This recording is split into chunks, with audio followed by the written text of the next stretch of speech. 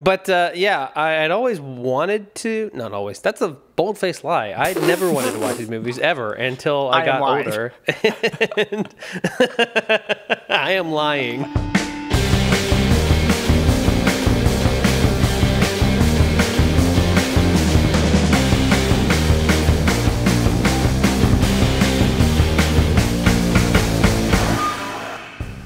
I'm Blake. And I'm Dave. And this is the Alien Movie episode of First Prize Films, Mm-hmm. a podcast born from an egg where we each select a genre specific movie and pit them against each other to find out which film wins the coveted title of First Prize. Dave, what does that mean for us? Yeah, so it's like washing your car in the rain. It's pointless. Today we are hurtling through space while fighting aliens who lay eggs in our stomachs with these alien movies. Ooh, I hate it. this week, I made Dave watch 1979's Alien, a film that made me realize that my Christian sex ed class was right. You can get pregnant from a hug. And I made Blake watch Aliens, a movie about killer extraterrestrials. Again. Multiples of them. So I know we picked these two movies, this movie and its sequel, because Yes. you know I guess you're just tired of me having never seen uh, you know classic movies. It's true. And uh, I needed to watch both, but you picked Alien and left me with Aliens. So Mm-hmm. talk about why you like Alien so much, if you even do. this is often a matchup people do talk about, and Mm-hmm. I, I wanted to explore what's all the fuss about. So uh, I'm very excited for the original Alien film, directed by Ridley Scott. Yeah. And um, the sequel, of course, Aliens, directed by James Cameron. James so, Cameron, yeah. James Cameron, two big directors helming the start of this franchise, and I think they're two great films, uh, honestly, Yeah. from my experience and from my memory. So I really wanted to give them an extra little look and see what's uh, going on under the hood. Uh, it's a metaphor I never thought you'd use, but sure. I know what cars are. I had always heard, you know, Alien this, Alien that, and I'd never seen it because I'd never seen anything, especially even remotely horror related. yeah. And uh, I always, like, I knew what they looked like, and I always just kind of thought Alien versus Predator. Who didn't see Alien versus Predator on TV at some point? Me, I what? didn't. What the fuck, Dave? It's the most accessible to our generation, especially. He does it every week now. I saw that shit in theaters. I guess I'm gonna have to watch that now too. Um, we'll do a movie night. no, I'd never like, I never had any real urge to watch these movies at all. I was not like a horror movie fan or like anything that could remotely give me nightmares. I steered clear of as a kid. So Yeah. obviously I wanted to watch it later in life because it's a classic, and I wanted to not be so movie illiterate. Yeah, fair enough.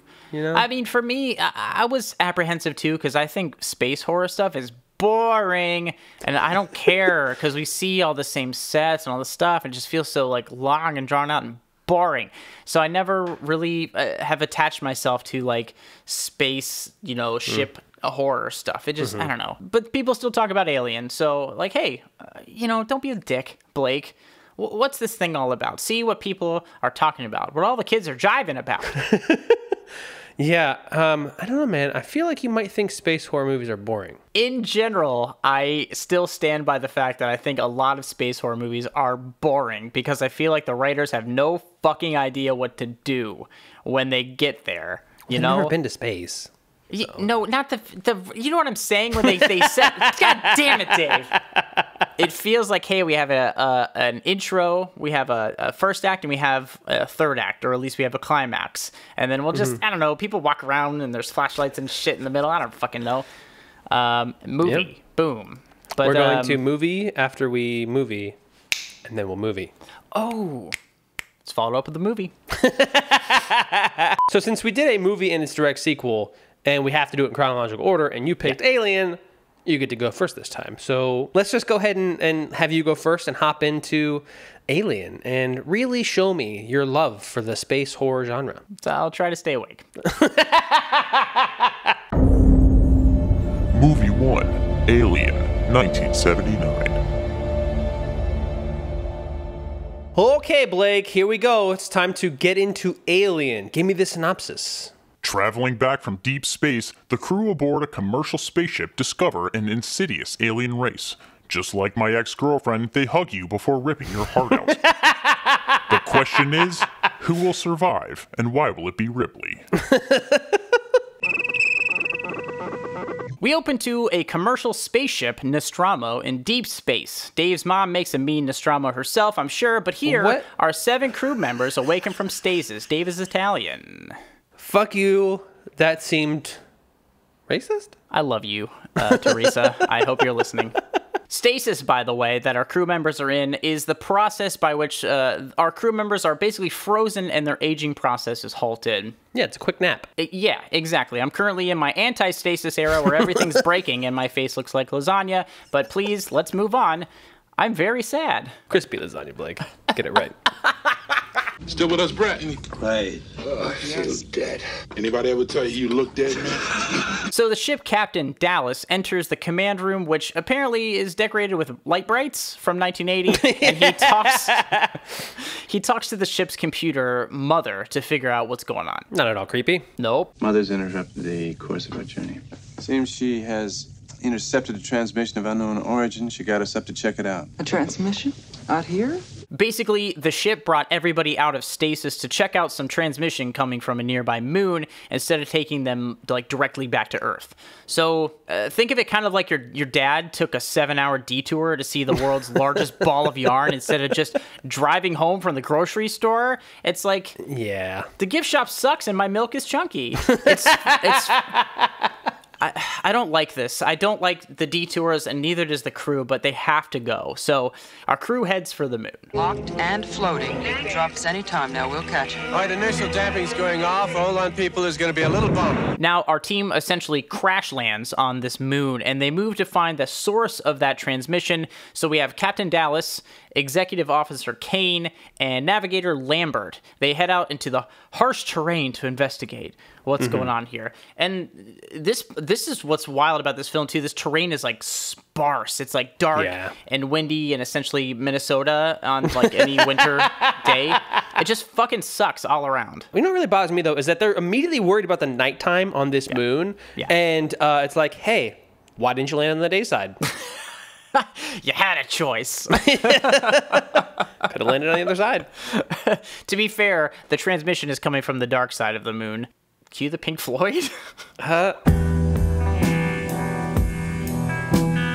wait a minute, we're gonna get sued. yeah, hold on. Okay, okay, okay. Back on track. Can't see a goddamn thing. Quit griping. I like griping. So our ground crew is trudging along, and they actually do end up seeing something in the distance. Ash, can you see this? Yes, I can. I've never seen anything like it. It's an alien ship or something. I, I don't. I don't know. We see it through their like pixelated little helmet cams, and the footage is. Yeah, it's spooky. It's it's really spooky. But okay, my thing is, why are they surprised? Where did they think the transmission was coming from? A rock? Maybe a very beepy rock. but this does feel like right up there with some of the best found footage horror in terms of like the atmosphere. I'm also a little bit scared of VHS quality content. I don't know. My my therapist and I are working through it, Dave. Great. Let me know how that goes. Terribly. We've got this far. We must go on. We have to go on. Our intrepid explorers climb onto this ship, and the only way I can describe it is that the interior decorator listened to a lot of Bauhaus and early Cure records because it's dark as shit in there. Man, like they got into some real goth feng shui up in this bitch. Sounds like uh, a lot of people on TikTok's wet dream. Mine especially. Oh boy. I'm wet. So it's oh. Wh- What do you think of like the the inside of the ship? Because the shots are stunning. I don't know. It's like it's beautiful in there. I mean, there's two very weird ways to say scary as fuck, but it's fine. Uh, I think that we see a ship Right. and there's a hole in it. Yeah. If there's a hole in a ship, no. No. I think we've learned from all kinds of movies if there's a hole in a vessel, you don't go into that vessel. Cosmic whales be afoot. anyway, they find an alien. Oh no. Alien life form. Looks like it's been dead a long time. Fossilized. So whoever these aliens were, they got fucked up by something. Yeah. They look like they, they've like broken bones and alien femurs and stuff. I don't know. But what I do know is that these alien bones aren't the only thing our stupid explorers discover. There's eggs, baby. Come again, eggs? Yes. Um, I think it's time to get out. Actually, it's half past time to get out. It is completely enclosed and it's full of leathery objects like eggs or something. Okay. Put yourself in this position, Dave. No. You see alien space eggs. What is your move? Leave immediately. Yeah? Immediately leave. Never talk about it. Say there's nothing. We're going home. Don't question me or I'll kill everybody. I say double up on the cholesterol pills and fry him some bacon, bitch. It's Minnesota and I'm hungry. Our crew, on the other hand, decides they want to see what these eggs actually are, and it's bad news for anybody with dry underwear. Wait a minute, this movement seems to have life. Organic life. Something moves inside the eggs, and the words of the zookeeper guy from Jurassic Park uh, ring very clearly in my mind. Shoot her! Shoot her! My question is why is it shocking that there's organic life in an egg? Maybe they thought they were like fossilized eggs or so. I don't know. Uh, that's a good question. I wouldn't have thought of them. Um, again, I'd just be eating good in the neighborhood. but while this absolute uh, nightmare is progressing, we do have a revelation back on the ship from Warrant Officer Ripley, played by Sigourney Weaver. Ash, that transmission. Mother's deciphered part of it. It doesn't look like an SOS. What is it then? Well, I, it looks like a warning. Of course, the transmission is a warning. There's a little moving demon egg in a spaceship in Minnesota. Get the fuck out of there. I mean, why were you in Minnesota to begin with? Get out of Minnesota! but you know what they say curiosity killed the dumbass Americans. Yes, always. If you didn't recognize that sound, Dave, it was the exact frequency of an alien life form springing from an egg and attaching itself to the face of Executive Officer Kane. Yeah, see, I knew that the face sucking was coming and I still jumped. I know. There's a lot of those moments in this movie where I'm like, you know it's coming. And I still was like jolted, still startled because it's shot really frighteningly. Right. like, very scarily. it's and this whole thing is like pretty bad, but it does get worse because even though Ripley tells the three adventurers to quarantine away from the ship, the science officer Ash lets them on board anyway. What? Uh, what? Why? What? Who? What are you doing? Dude, Kane is wearing a, an alien on his face like it's fucking winter fashion season in Milan. Wear it confidently all you want. It still looks stupid. Not only that, but they just leave the alien face sucker unconfined. Bro, I know. My God. So, so they take Kane, uh, they put him on an operating table. Captain Dallas and the science officer Ash discuss what they're going to do with the alien attached to his face. It's not lighted on fire? Well, we'll get to that. Now, we're assuming it's feeding him oxygen. If we remove it, could kill him. I won't even take that chance. Just cut it off now. Would you cut it off him, Dave? Even if it killed Kane, would you cut off the alien? Y- yes. Good. Yes. Me too. Yes. For real. Short of being a hit at Halloween parties, Kane's social life is over. You just got to cut it off. Mm-hmm. It's it's it's gonna nobody's gonna survive this. Not physically, not socially, Nope. not emotionally. Why did you let him back in the ship? So frustrating. Anyway, grab your scalpels. It's cutting time, baby. That crap's gonna eat through the hull. After cutting into the alien, it squirts out acid blood, and it's literally eating through the floor of the ship. Right. Things are getting serious here. Uh, but maybe. honestly, could be worse, right? No. You're right. Luckily, the acid doesn't eat its way fully through the hole, and when they check on Kane later, they discover something pretty good. Uh, is he dead? Where is it? Well, I don't know. I mean, we ought to try and find it. let's check it. The alien is just gone from Kane's face. I guess never brushing your teeth finally paid off, but bro, this is crazy. That's exactly why you don't brush your teeth. Um, I, I am just, I am just too concerned with the fact that they didn't shut the fucking door when they realized the alien was gone. I know. It's like this thing, they literally, it was like attached almost surgically to his face, and now it's just pff, gone. But two things do happen now. Ripley, she finds the alien that was on his face and it's dead. But miraculously, Kane himself is alive and he seems fine, you know, minus the psychological stuff. Um, um, um, I don't know. I, I, I just, I don't know. That's suspicious. What's the last thing you do remember? I remember some horrible dream about smothering. Welcome to my childhood, bud. Uh, in other good Yeah, news. Yeah, but it wasn't a dream. nice try, Wendy. but in other good news, remember how the ship had a rough landing on the moon? Yeah, Remember, I have nightmares still. Well, luckily, the ship is fixed now and they're on their way back home. So instead of going into stasis right away, they all decide to stay up for one last meal together as a crew. Things are going great. Are they? Ah! And by great, I mean a fucking alien bursts out of Kane's chest right there on the dinner table. Yeah, I had heard about this scene plenty. So I didn't. It didn't like shock me or anything when it happened, but yeah, it was gross. It's alarming. Like it's still alarming. Oh, No, no, no! Touch it! So this little blood-soaked baby alien guy growls at the crew and scurries away like a drunk guy who accidentally knocked over a vase at a party or something. He's just gone, bro. He's a Horrifying. it's kind of it's it's a little funny. Like it's a little funny looking. Everything Yes. else up until this point is not funny looking. This is like the the one kind of funny thing, I think. Yes, it's pretty goofy looking. I also have one question. Yeah. So the face sucker came from an egg that was laid. Yeah. So then the face sucker laid an egg Yeah. in the human. Listen, aliens. I don't fucking know, man. so, what are the crew gonna do now with Kane's body? They hmm. just unceremoniously blow his corpse out of the airlock, and they gotta find this screechy little rat alien now. The hunt is on. I just, why are you not already hunting for it? Because You know what I mean? Like they're like, oh, no, we'll get to it. That's a good point because you think they'd be like r- like running after it or, or something, but they're like, nah. Can we watch Kane's body just tumble off into space at fucking near light speed? Because it's, it's so funny when they blow it out of the airlock. Oh god, and it starts spinning. Oh god, it made me laugh out loud for sure. oh, amazing. But now that they blew him out, we're we're gonna find this thing now. I promise. Mm-hmm. Two teams. Ash, Lambert, and I. Ripley, you take Parker and Brett. Now, anyone see this thing or catch it in the net that Parker is holding in his lap? Catch it, put it in the airlock. Simple enough, yeah. Catch the Sure. alien in a net and then put it in the airlock. Two steps, no problem. Mm-hmm. Let's see how it goes. Not good, it seems. No. One of the engineers, Brett, played by Harry Dean Stanton, gets absolutely wrecked by an alien. And like the way it slinks down in the background made me piss my pants. Full stop.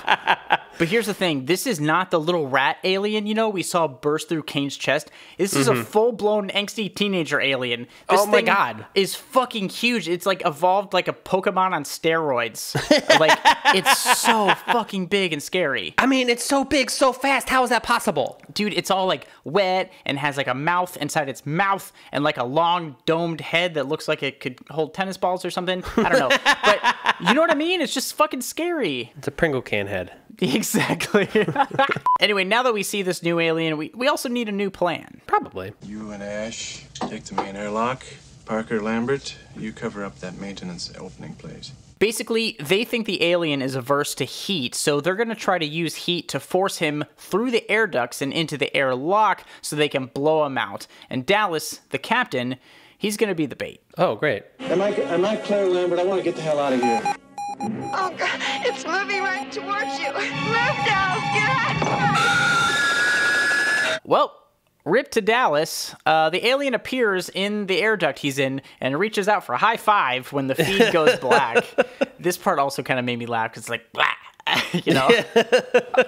Also, I love your choice of the word rip in this situation when the alien ripped him apart. no. he like reaches his hands out. I would have paused the film with arms wide open.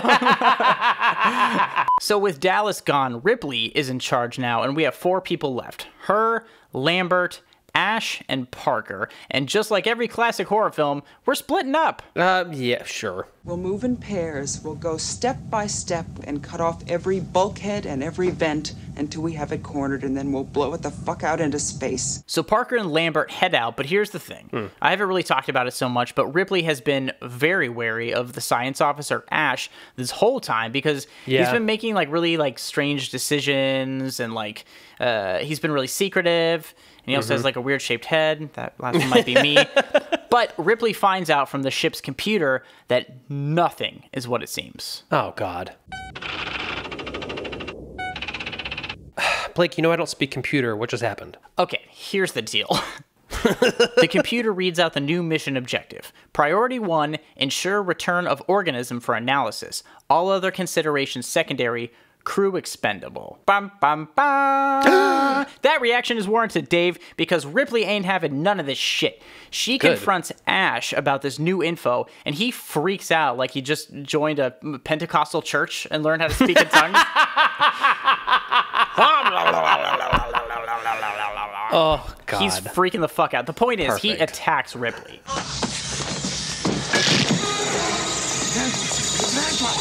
Parker and Lambert come to Ripley's rescue when Parker whacks Ash's head open with a bat. And guess what? Ash is exposed as an android that apparently runs on milk because white liquid just sprays from his body everywhere. Bro, Ash being a fucking robot is not a twist I was ready for. Me either. I didn't remember this at all. I was like, holy shit, this movie is nonstop. It was like, and it's gross too. Of all the gross So things in this movie, this scene is fucking up there for me because like Ash's weird robot body is all sticky and it just it feels like a Cronenberg movie. It's so gross, dude. So essentially, Ash was assigned as a robot to this mission to make sure that the alien survived. The problem now is that they need more info from Ash about how to kill the alien, so they rewire his head to ask him, which feels weird, but here's what his stupid head has to say. Uh oh. You still don't understand what you're dealing with, do you? Perfect organism.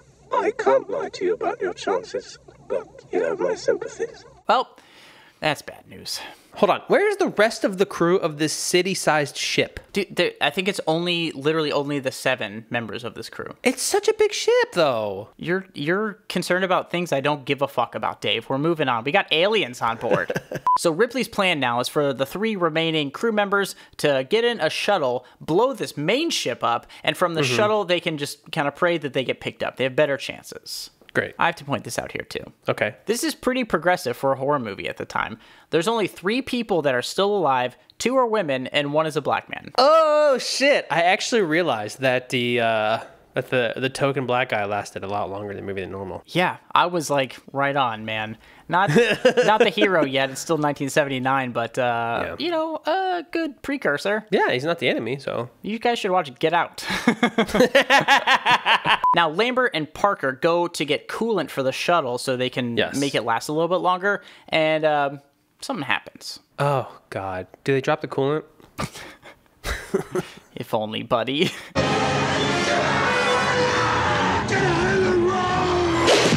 And they're dead now. So Oh. So much for progress. So when Ripley finds out that Parker and Lambert are dead, she starts the self-destructo mode like countdown for the ship. But it's going to Mhm. take 10 frickin' minutes. Why? Danger. The emergency destruct system is now activated. The ship will detonate in T minus 10 minutes. So the countdown is on, and Ripley has to evade the alien on her way to the shuttle, like she's dodging her creepy ex at a frat party. Also, why isn't the emergency destruct button right next to the shuttle? That seems like a really bad floor plan. It's a good point, actually. It should be close, but it's like in Jurassic Park where they're like, oh, the thing's on the other side of the island. God damn it. Why? Who did this? You now have one minute to abandon ship. The ship will automatically destruct. Ripley finally makes it safely onto the shuttle, but she only has one minute to get out of there before that ship blows up. Oh, she boy. revs it up, or whatever the fuck you do with the shuttle, and it shoots off into space as the timer hits zero. Three, two, one. She does it! Ripley Yay! just misses the blast, and she's safe. She takes the time to breathe, pet the cat that I haven't talked about yet, and undress before she realizes her boyfriend hitched a ride. Oh fuck. The alien's in the shuttle, Dave. He's like, just listen to the mixtape I made you, baby. I know I killed your friends, but I'll be different this time. Great. This is fan- fantastic. I love how the alien is literally like, "Hey, where are we going?"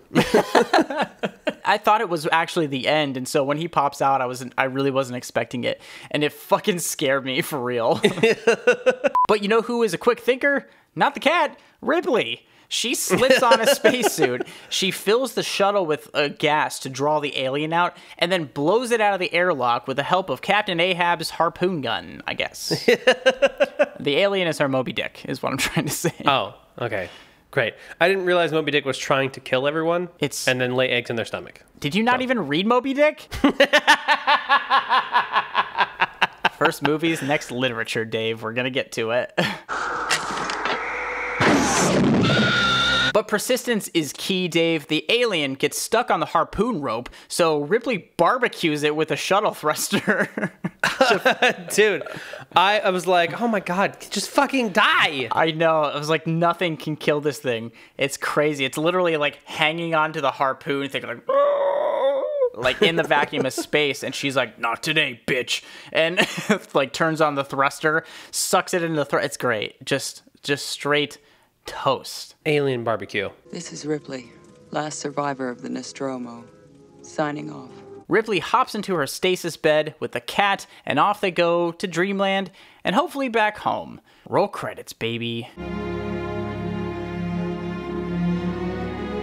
That was Alien. I fucking love this Wow. movie. Yeah, it was really intense and really good. I have one problem. Yeah. Ripley going back and finding and saving the cat feels very out of character for Ripley, who was the only person who was willing to sacrifice that person and not let them on the ship for the whole mission. I understand that, but in, in my head, I kind of thought of it as a justification of her character. She cares about living things, like like her her crew members are all dead, and this is like the one thing she can save beside herself. So that's kind of where mm. my brain went with it. But I, I understand your point. I, I don't think it's an unfair point. You're biased. You have a cat. I love cats. but I, I really did enjoy this. And, and how'd you feel about it watching it for the first time? Yeah, I liked it. I thought it was very intense. Um, the effects weren't as bad or wonky as I thought they were going to be for a movie that old. No. It definitely got me a few times. Yeah. And uh, yeah, I just think it's, uh, I thought it was a, a very good movie. It lived up to the hype for sure. I, I agree with you. I, again, I didn't remember a lot of this movie, and it got me a number of times. Yeah. And I'm jaded as Mhm. shit. So I I was really surprised by that, and I was also really surprised by how freaking good it looks. The creature looks great. I don't know. I was absolutely sold by this whole thing. Yeah, I mean, honestly, the tone is great. I thought it was uh, all around a really great movie. Yeah, agreed. The atmosphere I think really kept me pretty engaged. Mhm. But anyway, I could talk about this movie for fucking ever because I loved it. But true. um, for now, let's let's visit an equally freaking awesome movie, the sequel, Aliens. Yes, not Alien 2. Thank God. Movie 2 Aliens, 1986. Dave, we're back. Mm-hmm. I need you to give me the synopsis for 1986's Aliens. After escaping from her worst nightmare, Ripley will willingly step right back in it because I actually don't know. Remember when she saved herself from a giant killer alien? Well, guess what? Now there's a bunch of them and a giant queen alien who lays all the eggs. As if that wasn't bad enough, there's a kid in this one. No! So we open to the escape pod from the last movie, drifting Yeah. through space, and the inside is coated in ice. Mm. Ripley's taking a quick power nap in the cryo chamber when a robot cuts open the door of the podsicle, which seems like a bit more effort than hacking the door open, but what do I know? anyway, the robot finds Ripley and sends in the firefighters. Or, I don't know, they're humans in yellow suits. Bio readouts are all on the green. Looks like she's alive. Ah, there goes our salvage, guys. Not sure what you mean by that guy who looks suspiciously like Joshua Jackson from the Mighty Ducks All Grown Up. anyway,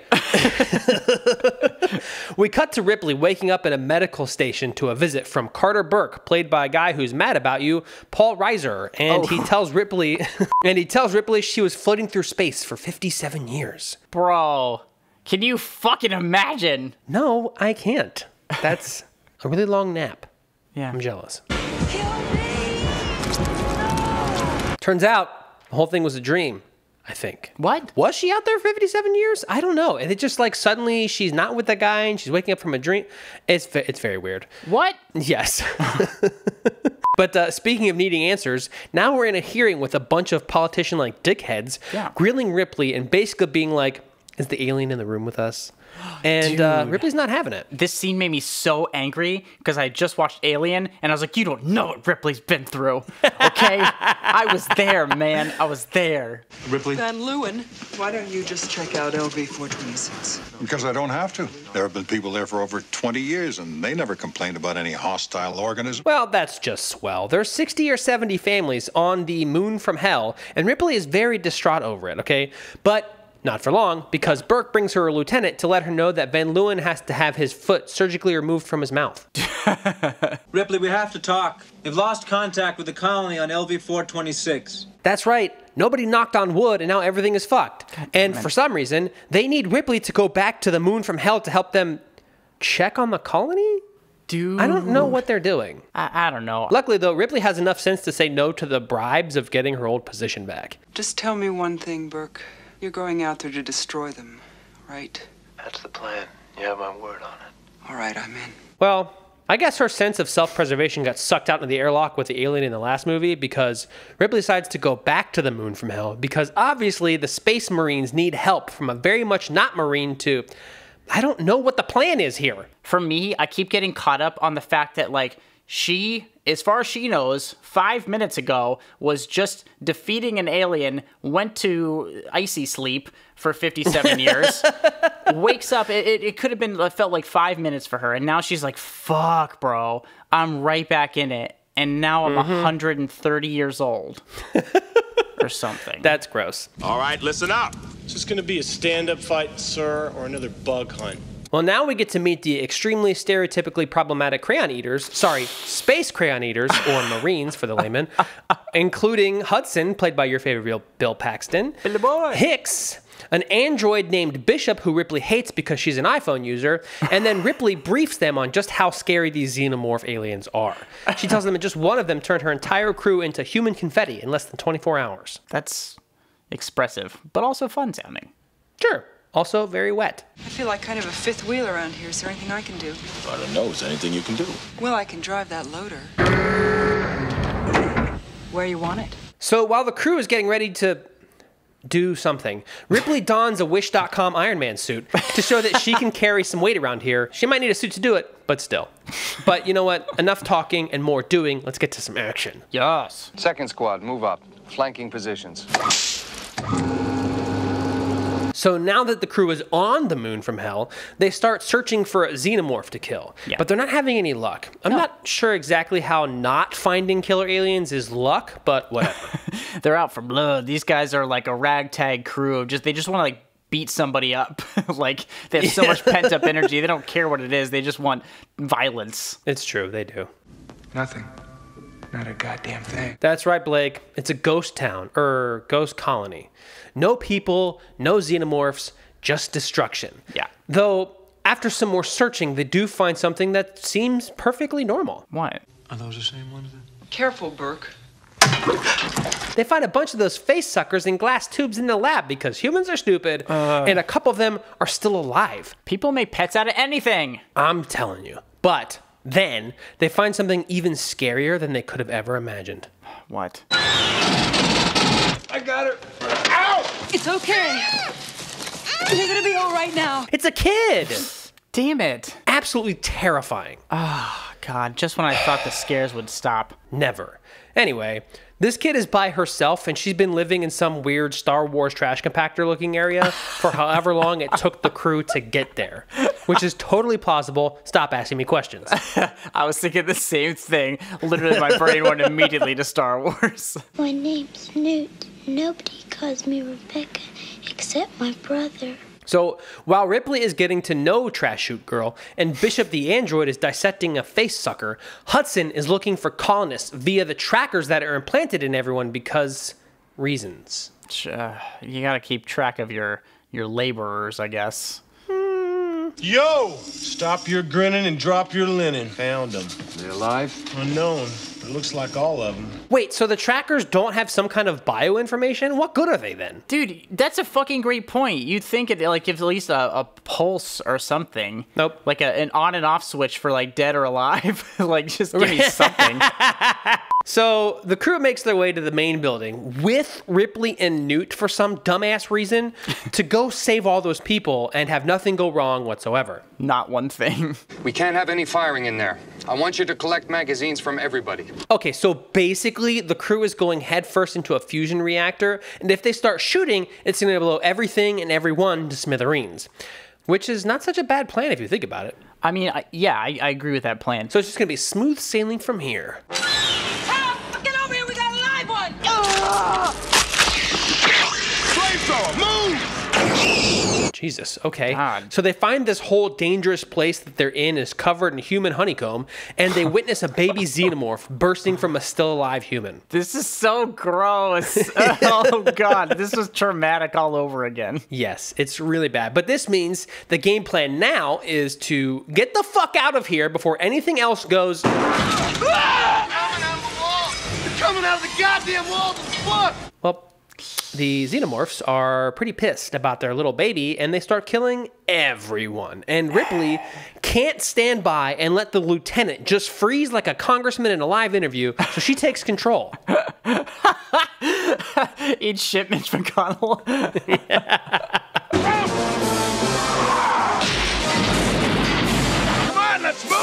So Ripley drives their armored vehicle that looks like a Hot Wheels car I had as a kid through a wall and saves everyone who is left. Ripley's a fucking G, dude. Yes.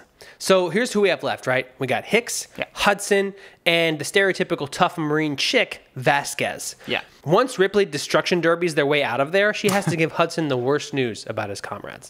what? Hey, look, the Sarge and Dietrich aren't dead, man. You can't help them! Right now they're being cocooned just like the others. No, and I can't express this enough.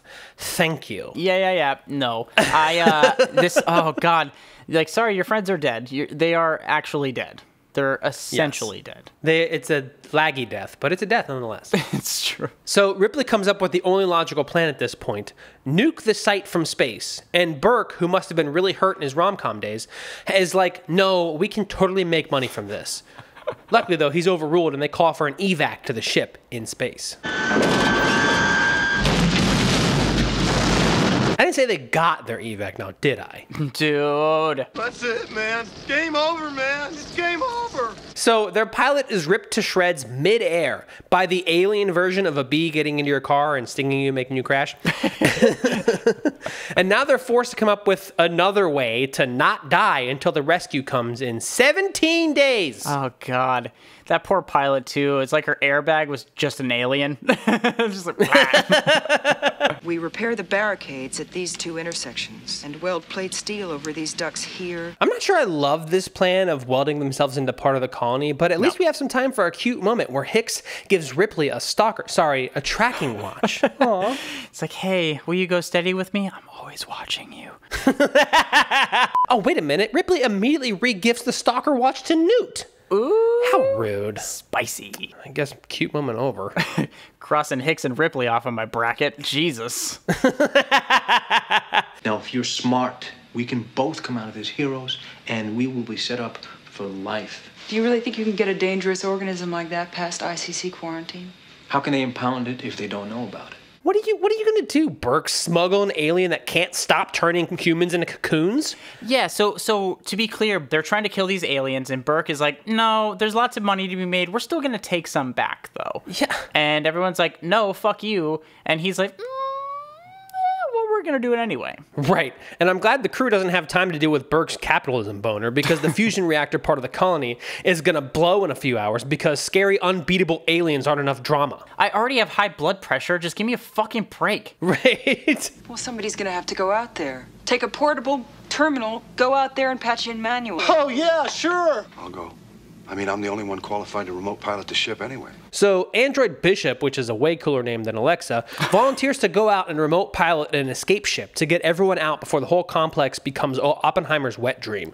But now it's time for another quick, cute moment. Okay, Ripley cuddles up with Newt mm-hmm. on the floor for a quick power nap. This is really adorable.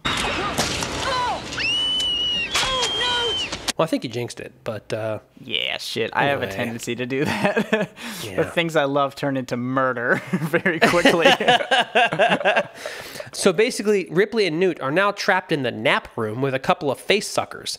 And Burke's evil ass turns off the security monitor so that nobody can see that Ripley's in trouble. But you can't kill her that easily because she sets off the fire alarm, causing what's left of the team to come and save her and Newt. yeah. That's it. Yeah, all clear.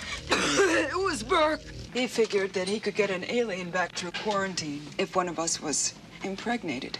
Oh, that's how he plans on smuggling aliens back to wherever the fuck they're going. This is sinister, man. This I uh, mean- whole scene where they're tr- you know they're trapped in the the nap room or whatever. It's just oh, it's so tense. I love that scene so much. It had me on the edge of my seat. Yes. And after they accuse Burke of this insane plan, the power goes out and now they're in danger again. I think the aliens are in cahoots with Burke. I think so. Yeah, they're definitely planning together. But somehow the aliens have made their way into the welded off part of the colony. So, since welding themselves into a part of the colony didn't work, they decide to weld themselves into another part of the colony. Just keep on welding.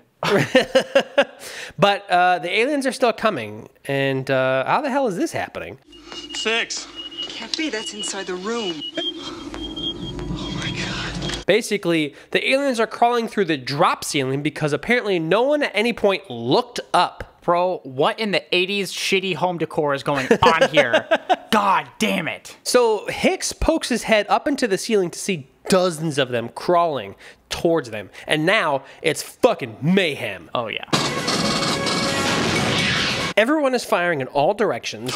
Burke locks them in with the xenomorphs. Hudson gets pulled into the floor, which is apparently a reverse drop ceiling. Burke finally gets shredded, and everyone starts going through air ducts, where Vasquez and Lieutenant Freeze sacrifice themselves to buy everyone more time. Dude, this is like uh, the genesis of Among Us, you know, the game? Yeah. Straight up. Everybody's venting everywhere. Gotcha. Come on, we can find her with this. Well, we lost Newt. but not really, because thanks to Ripley being rude and regifting her stalker watch, we're going to go get her because no child left behind or something. Do we have to? I would like not to, but uh, I'm not running this ship. Anyway, right as they're about to get her from the weird sewer that's only separated by metal grates. No! Newt gets taken to be a mini cocoon, but that doesn't stop Ripley because kids are the future or something. I don't know. we are the world. Regardless, Ripley gets Hicks to the ship and then has Bishop fly her back to go save Newt. You now have 15 minutes to reach minimum safe distance. Thanks, Exposition Intercom. Now, Ripley, who is flush with weapons, makes her way into the literal alien egg nest to save Newt. After she does, though, they meet the Queen Xenomorph, the Queenomorph, if you will. and she's laid like a bajillion demon eggs. and she's got a ton more in the chamber. oh my gosh. I don't even It's true. necessarily think this is scary. It's just gross looking. Yeah, a little bit.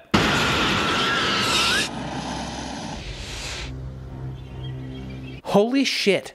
Ripley shows the queen that, hey, bitch, we got fire, and the queen lets her go. This is brilliant because the whole place is about to go up in a blaze of glory, so you can just get the fuck out. It, just go. Or you can light everything on fire and piss off the queen, ensuring your escape is as difficult as possible. Uh-huh. what was I thinking? Bro, every decision's the wrong one. So Ripley carries Newt up and away from the pissed off Queenomorph into an elevator. And as soon as Ripley and Newt are up, up, and away, the other elevator shows up and the Queenomorph is like, Why, thank you. I think I will. How modern of me. Close your eyes, baby. Ripley and Newt watch as the elevator doors open and the Queenomorph is like, It's Brittany, bitch. But then Bishop to the rescue. I'm not really sure why he wasn't waiting there to begin with, but let's not dwell on it. He explains this later. He explains because he's like, the platform was unstable, and so I had to take a lap. Hopefully, it didn't scare you. I was like, scare her? I pissed all over again. I've gone through so much fucking underwear. Yeah, it's true. I really need to buy stock in Hanes. Yeah, I need to talk to uh, our producers, you, about my underwear budget for this season. Buy burlap in the meantime. Punch it, Bishop! Punch it, bitch. Sorry. So they get away with literally no time to spare before the whole colony pops like a nuclear balloon, and they fly up to the ship in orbit. And now it's time to get the hell out of here. Finally. Hicks is all bandaged up from the acid blood that was spilled, and Bishop is trying to explain his way out of trouble for being a bad robot.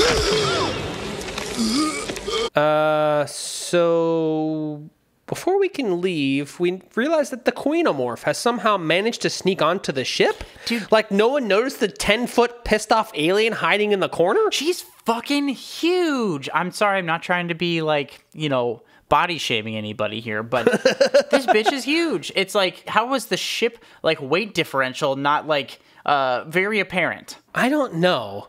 But whatever. It's too pissed off for us to even think about it because it rips Bishop in half, and now Ripley is distracting it from attacking Newt. Or no, she runs and hides in a room with a thick door while the Queenomorph tries to snatch Newt from in the floor. God damn it. Also, Bishop is a synthetic human, right? He's an android. And so when he's ripped Mhm. in half, he also has milk blood, but um, he, can still function technically. Sort of, yeah. Get away from her, you bitch! Oh, shit! Ripley has on the Wish.com Iron Man suit, and now it's boss fight time. This is gonna be epic. It's like Ripley in a mech suit, just Yeah. fucking punching aliens. It's great. I love this scene. Okay, so. Well, but I guess epic means they're just gonna dance their way into an airlock that's in the floor. I'm not gonna lie too. The the fight is fun, but the sound effects for like the loader suit is like so it doesn't like seem very Anyway, the industrial loading Iron Man suit lands on top of the Queenomorph in the airlock. Yeah. So Ripley starts climbing out so she can open the airlock when it grabs her foot. Okay, so she's somehow able to withstand the vacuum of space and the probably thousand pound alien before kicking it off and launching it into space, which is how the last one ended, but whatever. This is the exact ending. This is the same ending. It Just Yeah. with a, a mech suit and a bigger ship and a bigger alien. It's the same movie, just bigger. So Ripley saves the day. Bishop, who, like you said, was still able to function, saves Newt from being sucked out into space. Mm-hmm. Newt calls Ripley mommy for some weird ass reason. And now Ripley and Newt lay down for the cryonet back to Earth? Do they ever say where they're going? I think it is supposed to be Earth. They might have said it. I don't recall. I was like sweating a lot.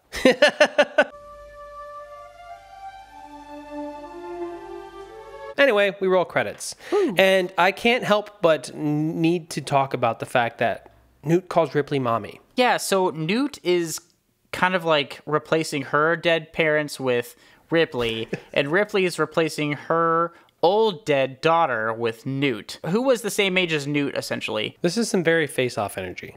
It fucking is, actually. it really is. What is up with us, uh, like, watching movies that, like, people replace their dead children? I don't know, and it really bothers me. Me too. Stop replacing your dead children. I understand finding kinship or whatever, but like this is full blown replacement. She calls her mommy. That's weird. And Ripley doesn't even say, "Hey, honey, that's weird." She's like, yes, you're my daughter.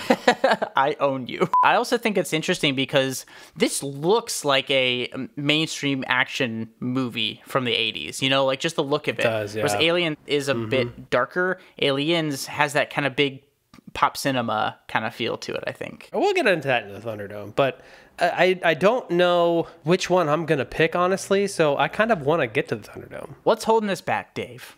Aliens. Looking for mommy issues this time. This, this time is mommy issues. Fuck. I never get these right. Movie versus movie. Welcome to the Thunderdome. Thunderdome. this place fucking rules. All right, Dave, we're back in the Thunderdome, you bitch, and I'm in need of an afternoon coma. Hang on. But before we watch these movies, Dave, you and I decide on five things that we both agree make a good alien movie, so let's go through them. Ah, if we have to. Number one, we need a terrifying alien presentation. No, no, no. You got to show me why they're terrifying. Number two, we need badass Ripley-ness. Which Ripley will out Ripley the other? Number three, we need an endearing crew. Oh, I like these people. Number four, we need rising tension. Oh, is it getting hot in here? And number five, we need a satisfying alien defeat. Which Ripley blew the alien out of an airlock better? so we're starting with terrifying alien presentation. So the aliens and aliens are shown to be very terrifying aliens. And uh That's all you need. we get it. Done.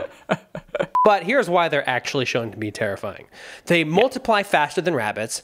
They have their two mouths with razor sharp teeth and a lust for blood. Or no, a lust for human nests for their eggs. Uh sorry. A human nest for their babies that hatched from eggs eggs. Anyway, there's like a million of these things coming for the entire crew. And there's a gigantic queen, the Queenomorph, and she is not only ruthless, she's actually smart too. She is, and I think with a terrifying alien presentation, you know, these are this this is the same creature in both mm-hmm. films. Yes. right. So I think each film does differentiate the alien in different ways. Mm-hmm. You know, and I think the way the alien is presented in the original film is near perfect because it's a slow burn, and we see lots of like gross, juicy close-ups of its face before like the bigger reveal at the end. But it's mainly kept in shadow, which works to its benefit, I think, and it helps sell this whole thing even all these years later. Mhm. I mean, even the reveals are terrifying. You know, one launches out and clamps on Kane's face, then a baby bursts through Kane's chest, and then in its formative years, we see it slink down from various parts of the ship, and it like blends in perfectly. It's just so good and so fucking scary. Yeah, it's not only scary, but it's also kind of cool too. It is cool, and and I think we can move on to our next point, which is badass Ripley-ness.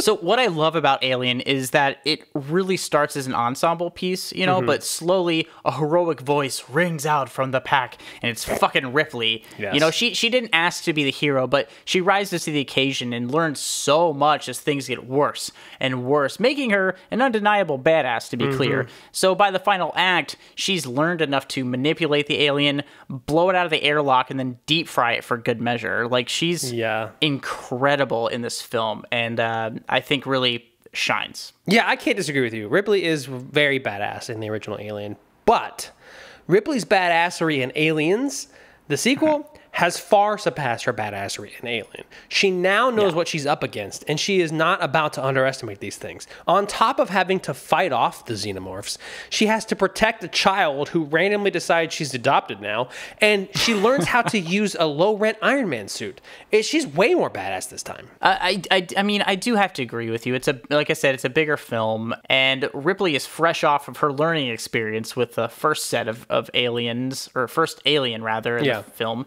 and now she's dealing with a bunch of them. So now she's like fully embraced her badass era, and she's just mowing these fuckers down. But my thing too is how much I think she really stands out from the crew, but the crew really does support her in both films. Yes, it's true. They really do. And I think this can get us into our next point endearing crew. So, most of the crew in Aliens is kind of douchey at first, but eventually they all become endearing in their own ways.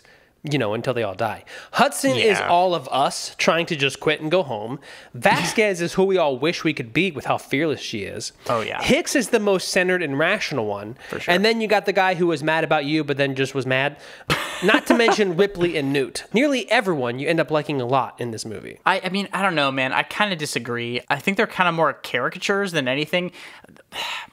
I, whatever. I think it's appropriate. I think for the film, Mhm. but like Hudson annoyed the shit out of me. I just wanted to slap the fuck out of him.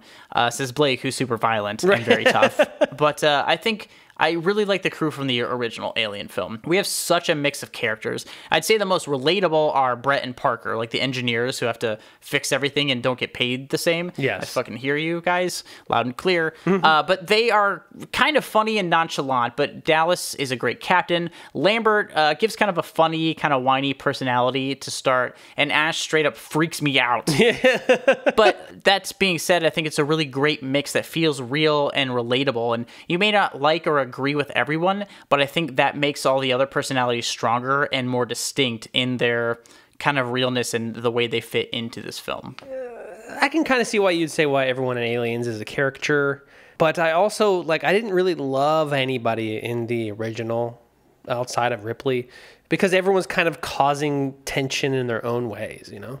No, I, I feel you, and I get it. Uh, I think that gets us to our next point pretty nicely. Number four, rising tension. Ooh. I think what makes Alien, the original film, a masterpiece is that rising tension throughout. As the story progresses, it just gets worse and worse and worse. And just when you think we're over that hump, boom, there's an alien. I mean, we have like the face hugging, the acid blood, the chest bursting, the alien rapidly growing and hunting and hiding, and it's just like fuck, everything sucks. And I was just uh, absolutely on the edge of my seat the entire time. You don't know what way it's gonna go, and and also the reveal of uh freaking Ash being an, an android. Yes, what the fuck? Took me out of my fucking pants right there. It was crazy. I was just left wondering what the hell is gonna happen next, and I uh, that that tension really really drove it home for me. Yeah, I think I have to agree with you. The tension in Alien, the original, is very you know, nicely risen throughout the movie. Um, but in the beginning of Aliens, the tension is low because the crew isn't taking any of this seriously. But as they realize that everyone is gone, things start to ramp up. Not to mention when they start to encounter the xenomorphs and see up close how fucked they really are. After that, you have a child getting in the way, and that's icing on the cake of the tension of this movie. But when you see the Queenomorph, the tension could crush a tin can. I agree with you. I think the interesting point about Aliens versus Alien is that um, we already have so much stuff established in Mhm. Aliens Mhm. that it's it's kind of hard to keep that tension. We're learning new stuff, but it's not as alarming. The pacing is a little bit wonky for me compared to the original. But I do think both of them really nailed their climaxes at the end. Yeah, which, you know, we can get into the final point satisfying alien defeat. Listen, Ripley clearly has a fetish for airlocks, I'll tell you that much. yeah. Not only did she shoot the first xenomorph in Alien out of the airlock, she did it again in this one, but this time she used the Wish.com Iron Man suit to pin the Queenomorph against the walls of the airlock before she is able to somehow hold herself and the Queenomorph up as the vacuum of space is ripping everything out of the ship. And then she just fucking kicks the Queenomorph out of the airlock, and it's so satisfying. It, it is very satisfying, It is as little as it actually makes sense, but uh, it's fine because it's a fun action movie, and that's fine. But uh, like I mentioned earlier, I love how the alien is defeated in the original film. This dude is out for blood, and when he shows up in the shuttle, I was dying. like I was dying.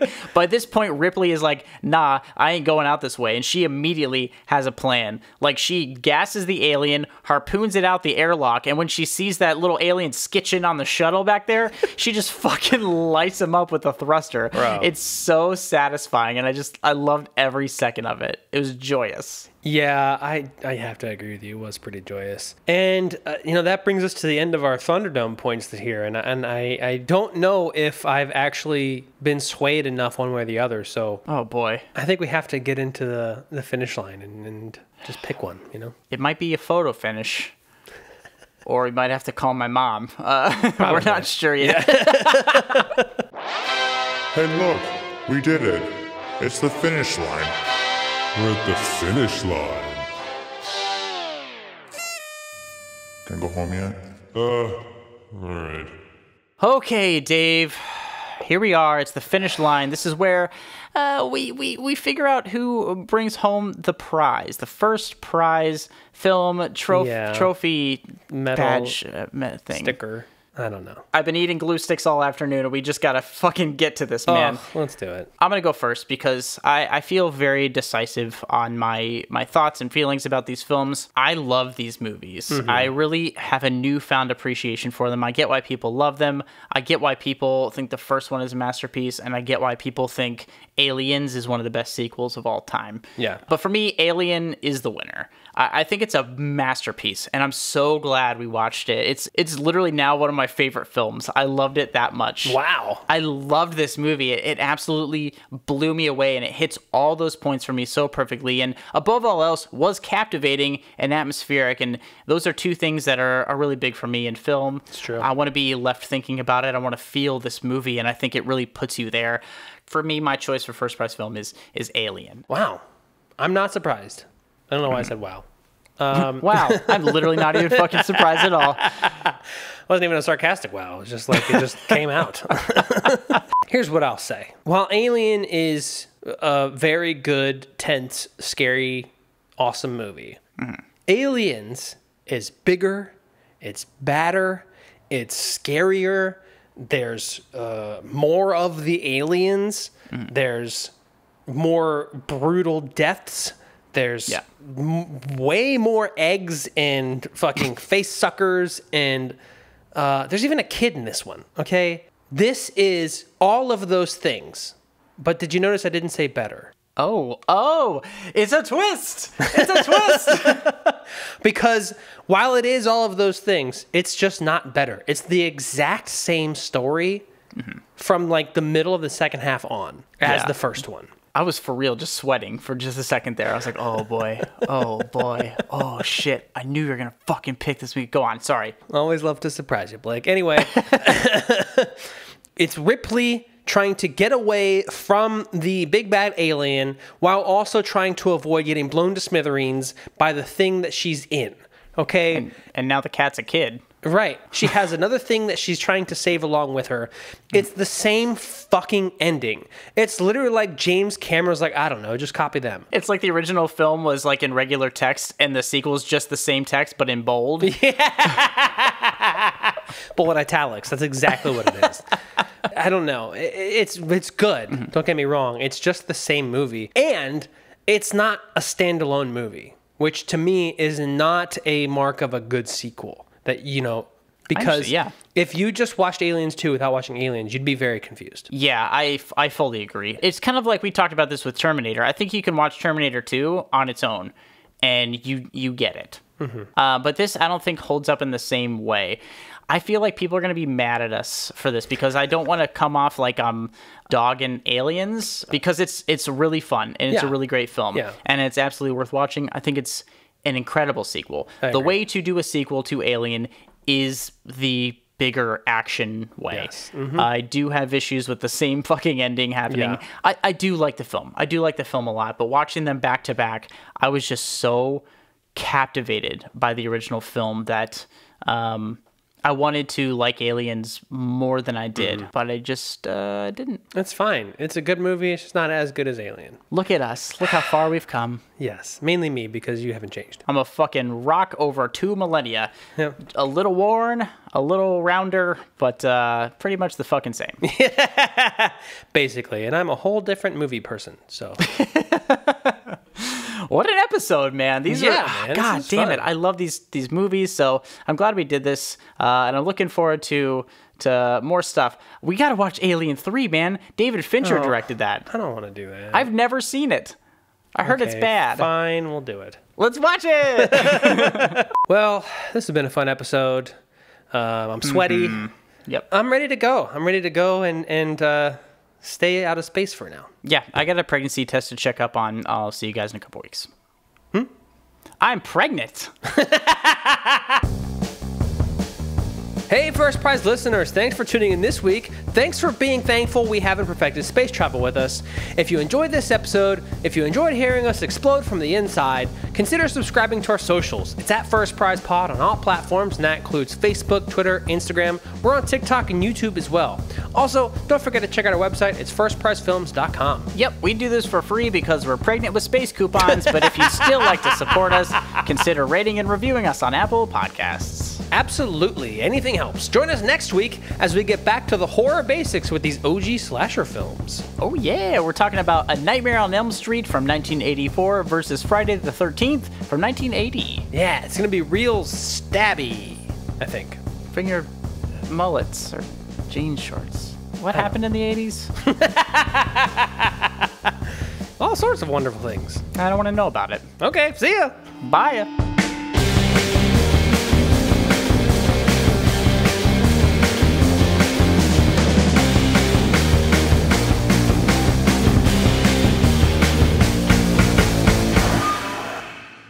but I, I kind of relate to the realness of the original crew a little bit more. I think. Yeah.